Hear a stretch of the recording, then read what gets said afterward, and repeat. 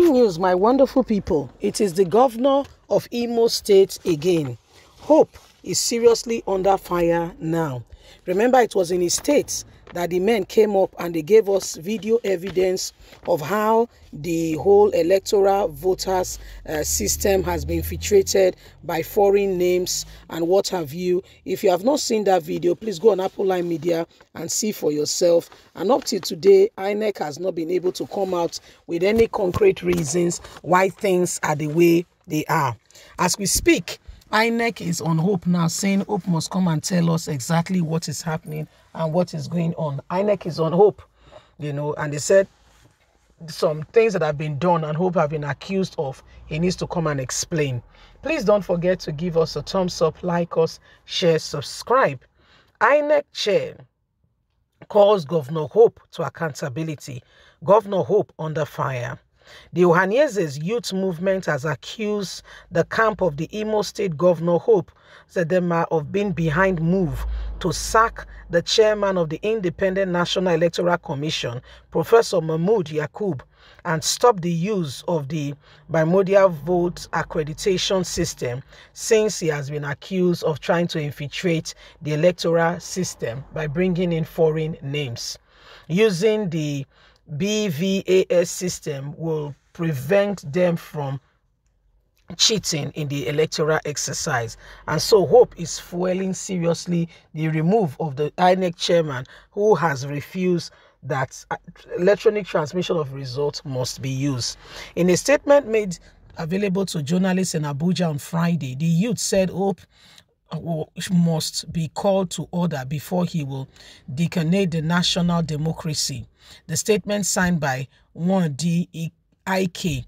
Chukwuemeka, Secretary General of the Ohanaeze's, read Information available to us shows that the Imo State Governor Hope Uzodimma has been um, embarking on chance move to sack the INEC chairman and stop the use of the BVAS.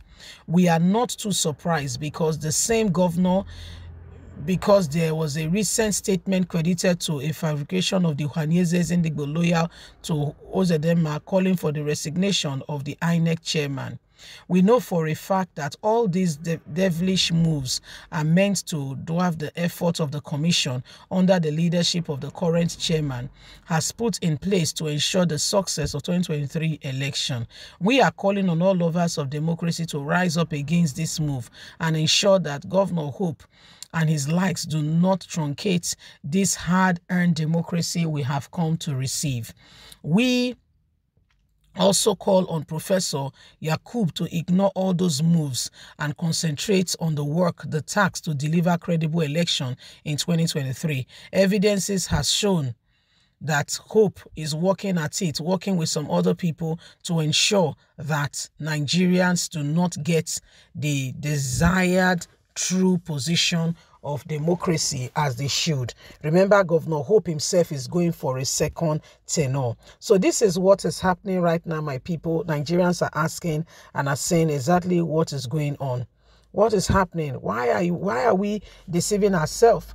Governor Hope is, you know, is they said according to what we are hearing now, is working with some people to turnate to ensure that at the end of the day, you know, the the man is removed because the man will hinder his hampering and will not allow him to succeed in trying to manipulate the system.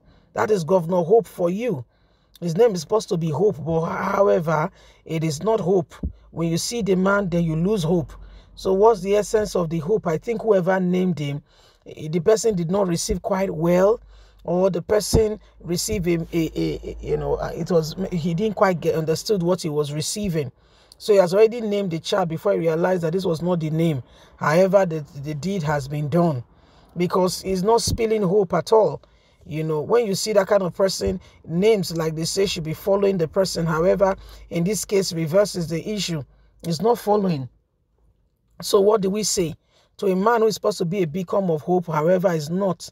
Nothing called hope is attached to his to his name at all. It's rather the other way.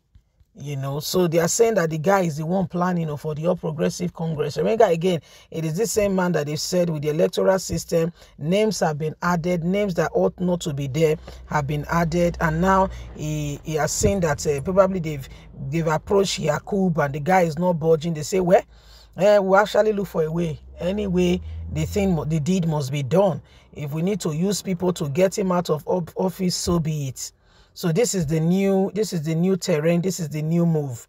Wake up Nigerians. People like this are dangerous. Again, it's an accusation against him. It has not yet been verified. However, we need him to come out and tell us what exactly he's up to. Why are they trying to prevent, in every way, humanly speaking, the you know the the the electronic transmission of results because they know that it will expose nigerians will see who truly the people want, and they don't want that.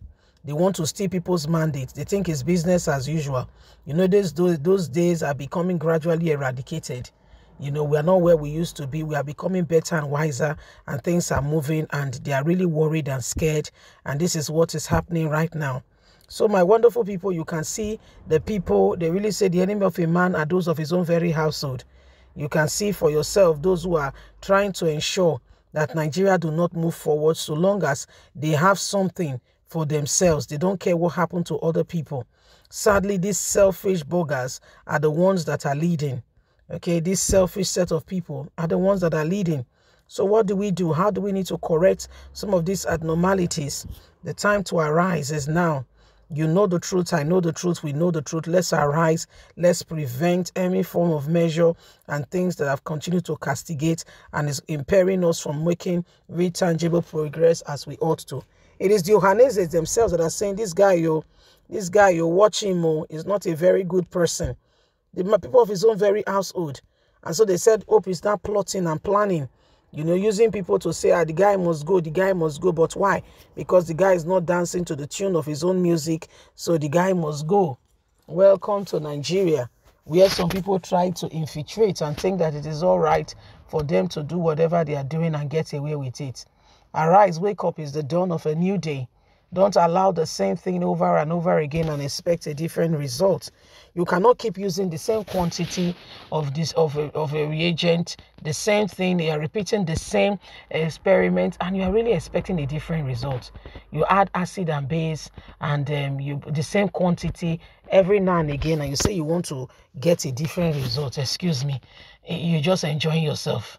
Please don't forget to give us a thumbs up, like us, share, subscribe click on the notification button so you can get all our latest news. God bless. Bye for now. Bye bye.